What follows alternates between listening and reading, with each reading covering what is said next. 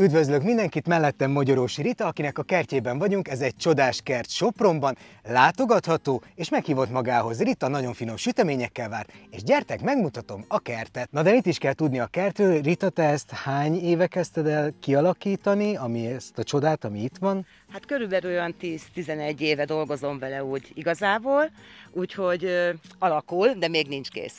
Még nincs kész, gyönyörű szép a kert, de még kb. egy ugyanekkora terület vár majd Ritára, amit már el is kezdtél kialakítani. És Rita először a ház körüli területeket kezdte el beültetni növényekkel, és az évek alatt egy ilyen buja dzsungel lett a ház körül. Egy kert összképe nagyon jól tükrözi a tulajdonos a személyiségét. Gyönyörű szép ez a kert, és miért pont ilyen lett a kert, hogy tele van virágzó évelőkkel, nem pedig a, a gyep és egy-két fa, meg esetleg sövények. Mi inspirált téged arra, hogy egy ilyen kertet alakítsál ki?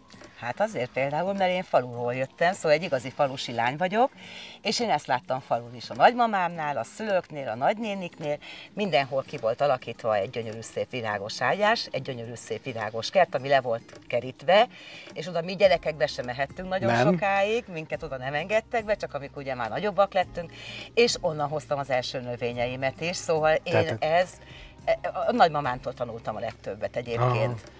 Úgyhogy én, én valamilyen szinten szeretném ezt a ma- mamától, amit elhoztam, növényeket is, és a mamának az emlékére is szeretném ezt így, így megtartani. Igen, ez nagyon szép. Nekem is van olyan, ami, ami, ami mondjuk anyuék kertjéből van, de amit láttunk itt például, azt most mondtad, hogy a, a kerti hortenzia, az például onnan van. Igen, igen, azokat is ágról lettek ugye gyökeresztetve, úgyhogy nagyon sok olyan növényt el tudtam hozni, amit ugye utána vagy gyökeresztettem, vagy pedig kiszedtem, és akkor ketté osztottam.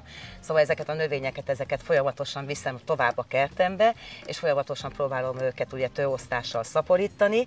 Úgyhogy én azt is szoktam mondani, hogy egy olyan kertész vagyok, aki spórolós, Aha. mert spór, próbálok spórolni is azért tényleg, és így alakulnak ki az új ágyások is. A saját növényeket telepítem először vele, és akkor utána úgy, ahogy jönnek a növények, akkor már azért vásárolok is. És látható volt itt a vágóképeken, meg az egyéb képsorokon, hogy gyönyörű szépek az ágyások, tele vannak növényel, és, és ez nem úgy, hogy minden egy kertészetből van, vagy kertészetekből összeszedve, Hanem bizony a növények többsége Rita két kezének a munkája, szaporításának eredménye. Többek között az új ágyás is hátul a kertben. És az a nagyon érdekes, hogy hátul például Rita nem szokott öntözni, nincsen öntözőrendszer, mégis gyönyörűek a növények, köszönhetően Szárazságtűrő meg a mulcsolásnak. és a mulcsozás, igen. igen. ugye Rita nagyon komolyan mulcsol, mulcsoz, ki hogyan mondja, és látható is az eredménye, tényleg gyönyörűek a növények itt is, és ott kint is, annak ellenére, hogy nincsen öntözés. És az üres területen bizony még megfér egy mély legelő is, vadvirágokkal, ahol tudnak dolgozni a beporzók. Bár amennyi virágzó növény van a kertben, ez csak a desszertasztal nekik. És tényleg hihetetlen élmény eljönni ide Rita kertjébe végig sétálni, hiszen több ezer növény van, több száz különböző faj,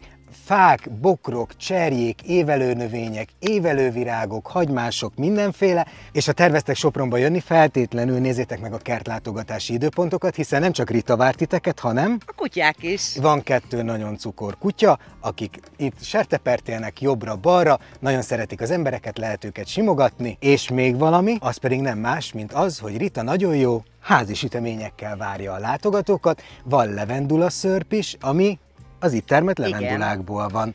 Nagyon finom, És kiülhetünk a tó szélére meginni a levendula szörpöt. Egy kis kerti tó van, a kert közepén tele gyönyörű virágokkal, vízinövényekkel és egy teljesen más hangulatot áraszt. És az a mesés Rita kertjében, hogy bármerre nézel, mindenhol más képe van a kertnek, mégis az összkép tökéletes. Nagyon sok ötletet lehet gyűjteni, mit érdemes ültetni, na meg hogy hogyan érdemes ültetni a kertünkbe, és hogyan lehet ízlésesen dekorálni kültéren. És a legjobb, hogy ez a gyönyörű kert itt mögöttem látogatható, a Rita Kertje Facebook oldalon fenn vannak az időpontok, mikor lehet jönni kertlátogatásra. És ami nagyon fontos, hogy ez nem csak egy kertlátogatás, ahol meg lehet nézni a növényeket, meg meg lehet nézni a kertet, hanem Ritának azért vannak gyakorlati tapasztalata is, mind a növényszaporítás területén, mind pedig egyéb olyan kerttechnikában, mint például a mulcsolás, amiből nagyon sokat lehet tanulni, és Rita, te is egy hobbi kertész vagy, aki Igen. itt az évek előre haladtával tanulta meg azt, hogy hogyan kell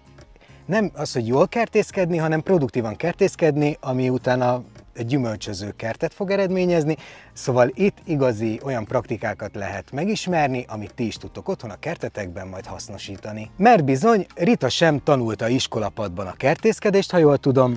Hát nem, hát a saját hibáimból tanultam ugye a legtöbbet hobbikertészként, úgyhogy ez az több éves folyamat, mire egy ember eljut idáig szerintem. Bemutatja a növényeket, lehet kérdezni, és az a legjobb, hogy Rita is egy hobbikertész, nem tanulta a kertészkedést, mégis ilyen gyönyörű szép kertet tudott varázsolni. És a saját tapasztalatait tudja megosztani veletek, hogyan lehet gazdaságosan, na meg jól kialakítani egy ilyen gyönyörű kertet. Egy ilyen kertlátogatás nem csak szakmai program, ahol nagyon sok inspirációt és ötletet tudunk szerezni, hanem bizony kikapcsolódás is ilyen környezetben gyorsan repül az idő, de nagyon hasznosan.